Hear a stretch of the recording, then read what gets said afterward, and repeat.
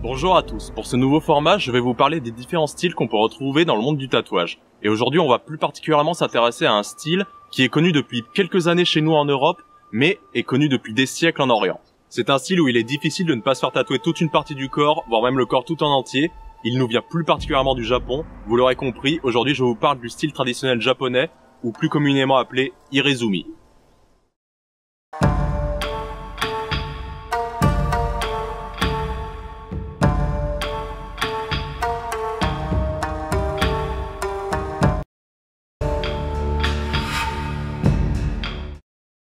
Mais avant que les Rizumi n'apparaissent véritablement, il faut remonter loin en arrière pour comprendre l'origine du tatouage chez nos amis japonais. Les premières traces de tatouage que nous pouvons dater au Japon se trouvent sur des statuettes d'argile remontant à 5000 ans avant Jésus-Christ qui ont été découvertes lors de recherches archéologiques. En fouillant des tombes, on a découvert des statuettes appelées dogu et aniwa où l'on peut voir des lignes distinctives sur le visage évoquant les scarifications, les tatouages ou bien encore les peintures corporelles. Elles servaient probablement d'indicateur de rang social de la personne, ou bien avait peut-être un but seulement purement décoratif. Quant aux sources littéraires parlant pour la première fois de modifications corporelles sur des êtres humains, on en a trouvé datant du 3 siècle après Jésus-Christ. Selon certains écrits chinois, on les trouvait sur la peau des Ainu, le premier peuple du Japon, où les femmes se tatouaient la bouche et les mains, et les hommes le visage et le corps. Ce qui pouvait représenter notamment la marque du rang social ainsi que le métier que la personne pouvait exercer. Mais avant tout, il s'agissait essentiellement de protection spirituelle, notamment pour les pêcheurs qui risquaient leur vie en allant pêcher le requin.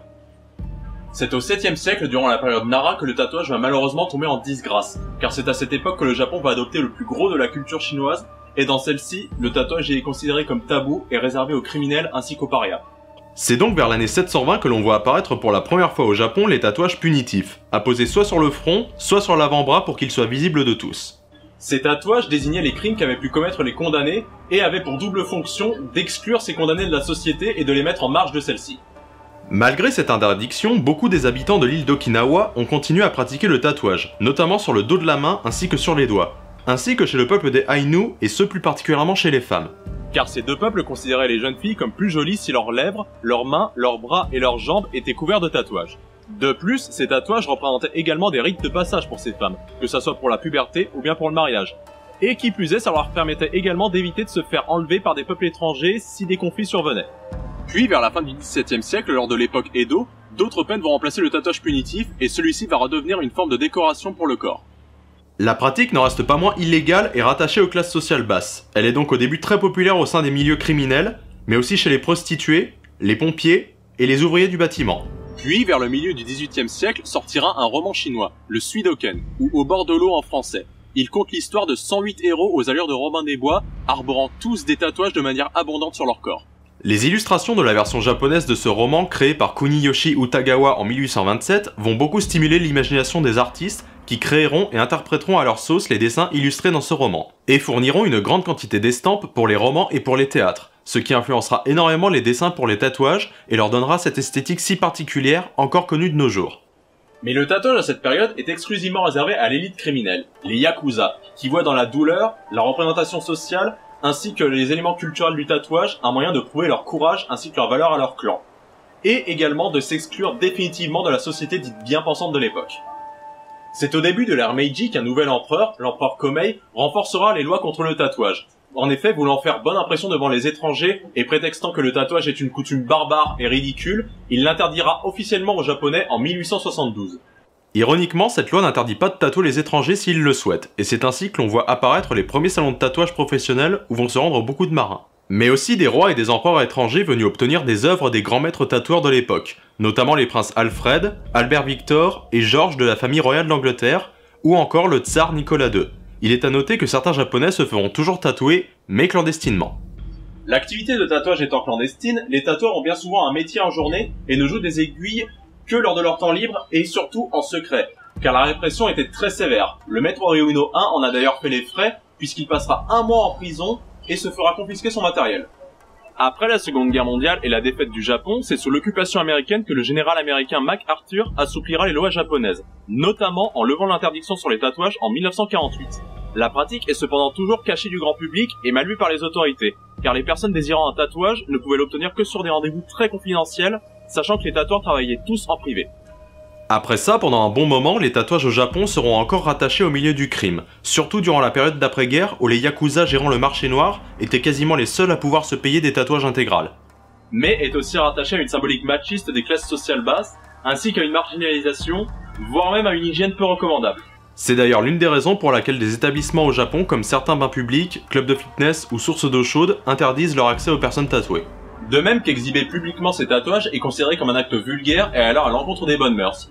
Bien qu'aujourd'hui on rattachera surtout un tatoué à une personne potentiellement bizarre ou dangereuse. C'est à partir des années 1970 que le tatouage japonais regagnera en popularité, notamment grâce à la correspondance entre le tatoueur Gifu Oreide et le tatoueur américain Sailor Jerry qui importera ce style de tatouage chez lui aux États-Unis et encouragera certains de ses apprentis, notamment Ed Hardy, à aller se former là-bas et amènera un retour très positif à ce style de tatouage en Occident. De nos jours, le tatouage a regagné en popularité au Japon, grâce au succès que connaît l'Irezumi en Occident, mais également du fait qu'il est progressivement en train d'être abandonné par les Yakuza. Il est donc dorénavant davantage toléré. Cependant, les Japonais semblent plus enclins à se faire tatouer des petits motifs comme du traditionnel américain, du tribal ou bien encore du sanskrit. Mais il faut savoir que le tatouage reste tout de même très stigmatisé là-bas. Notamment l'enquête de 2012 par le maire de la ville d'Osaka qui demandait aux 34 000 employés municipaux s'ils étaient tatoués considérant que le port de tatouage et une activité de service public étaient incompatibles. Les résumés cependant se pratiquent toujours, mais avec des outils plus modernes comme par exemple le dermographe. Mais certains utilisent toujours les outils traditionnels appelés tebori. Mais il faut savoir que ces tatouages sont tout aussi coûteux pour le tatoueur que pour le tatoué. Le tatouage recouvrant le dos, les bras, les jambes et la poitrine, à raison d'un rendez-vous hebdomadaire, cela peut prendre une à 5 années pour que le tatouage soit fini et peut coûter jusqu'à 30 000 dollars. Les tatoueurs travaillant rapidement et efficacement étant donc les plus réputés.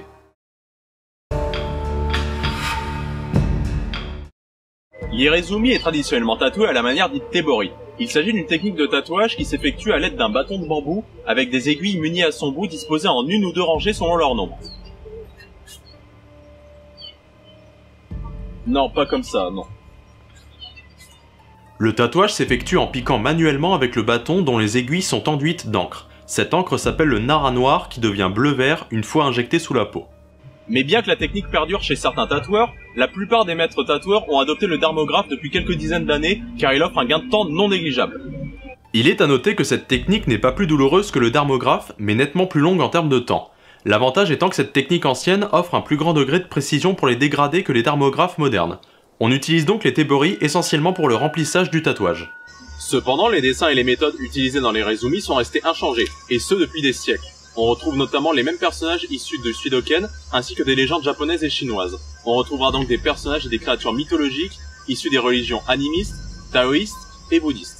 Il y a dans les dessins une très forte accentuation de l'ombre et de la lumière afin de souligner chaque détail du tatouage. Les tatoueurs utilisent également en toile de fond les éléments tels que le feu, l'eau, la terre ou l'air qui apparaissent en volute ou en spirale autour des motifs principaux. Et tout cela est un art extrêmement codifié avec très peu de place pour la nouveauté. Parmi les caractéristiques artistiques de ce style de tatouage, on peut noter que les tatouages sur les bras ainsi que sur les jambes s'arrêtent au niveau des poignets et des mollets avec des lignes très strictes, car il est très important que le tatouage ne dépasse pas les vêtements et ne soit pas visible aux yeux de tous. On peut également rajouter le fait que traditionnellement, on commence l'irezumi avec la définition des contours à main levée, puis les couleurs et les ombres sont rajoutées par la suite durant les visites hebdomadaires.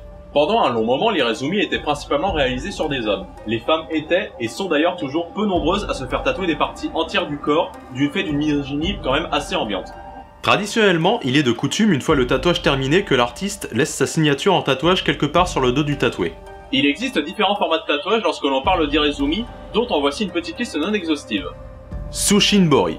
Il s'agit du full body par excellence. Le tatouage part du cou pour finir au poignet et aux chevilles. Kamenoku littéralement dos de tortue. Il couvre tout le dos ainsi que les fesses et la moitié des cuisses. Ikae. Plus facile à cacher, ce format couvre les épaules, les bras et s'avance jusqu'à la poitrine, couvrant soit une grande partie du torse, soit juste le haut du torse. Munewari. Littéralement buste fendu. Ici les bras, le torse, le dos et les cuisses sont tatoués avec une large ouverture sur toute la longueur du torse. Très inspiré des célèbres kimonos avec dans l'idée que ceci permettrait de cacher le tatouage. Nagazode. Il s'agit ici d'une manchette sur l'entièreté du bras. Shishibusode. Également une manchette de tatouage, mais ne recouvrant le bras qu'au 7 dixièmes. Gobusode. Et pour finir, une manchette qui cette fois-ci ne couvre que les 5 dixièmes du bras.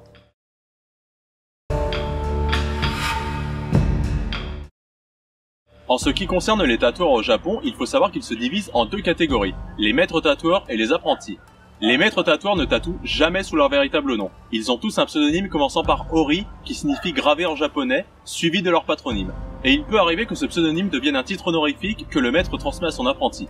Par exemple, Oriyoshi 3, Origoro 2 et Ori-id ont pris le nom de leur maître afin de perpétuer leur renommée artistique. Quant aux apprentis, il faut savoir que l'apprentissage est bien plus long au Japon qu'en Europe ou aux États-Unis, puisqu'il faut en moyenne une période de 5 ans avant que l'apprenti ne puisse devenir officiellement tatoueur. Il est bon à savoir qu'il existe deux manières de nommer le tatouage au Japon. Irezumi pour le tatouage traditionnel et Orimono pour le tatouage de manière générale. Pour finir, sachez qu'on retrouvera énormément de symboles très fréquemment utilisés pour un Irezumi, dont en voici une petite liste non exhaustive. Le serpent, symbole de protection contre les mauvaises décisions, mais aussi de guérison et de régénération. Le tigre, Associé aux éléments du vent, il est une protection contre la malchance et la maladie. La carpe, ou koi, symbole de courage, de détermination ainsi que de persévérance et de succès. La grue du Japon, symbole patriote par excellence de par sa couleur rouge rappelant le soleil levant. Et pour finir, le renard, ou kitsune, animal représentant la ruse et l'intelligence pour le porteur. Le dragon, associé aux éléments aquatiques ainsi qu'à la protection, la sagesse et la bienveillance. Masque de démon Anya, croyance dans le monde des esprits et protection envers eux, ainsi qu'ambivalence des sentiments de par la complexité du masque. Oni. Ici, il s'agit de démons au sens large du terme avec des symboliques similaires à nos démons de chez nous. Et pour finir, les masques Tengu, alternative du masque Anya mais avec le visage rouge et un long nez représentant des démons doués en combat. J'ai bien conscience d'avoir été très bref pour tous ces symboles, mais il faut savoir que la plupart d'entre eux auront des explications beaucoup plus poussées dans de futures vidéos. En conclusion, j'aimerais vous parler de la manière dont on perçoit le tatouage actuellement au Japon. Il faut savoir que là-bas, ce qui est considéré comme socialement et moralement acceptable, c'est ce que tout le monde fait, et ce depuis bon nombre d'années. Le tatouage dans son essence même va donc à l'encontre de cette mentalité, puisque par le tatouage, on se distingue de la masse et on met en avant son individualité. C'est pour ça que les tatouages japonais ont quasi toujours été pensés pour être facilement camouflables par des vêtements, et que les tatoués ne montrent leur corps qu'à leurs proches. Car tant que vous ne faites pas étalage de ce que vous avez sur le corps, on ne vous dira rien. Vous pouvez donc être tatoué mais rester très discret là-dessus. Ici, l'expression pour vivre heureux, vivons cachés prend tout son sens. Cette vidéo est à présent terminée, j'espère qu'elle vous a plu et que vous avez pu apprendre quelques informations sur le tatouage traditionnel japonais. Quant à moi, je vous retrouve pour une prochaine vidéo. À la prochaine, braves gens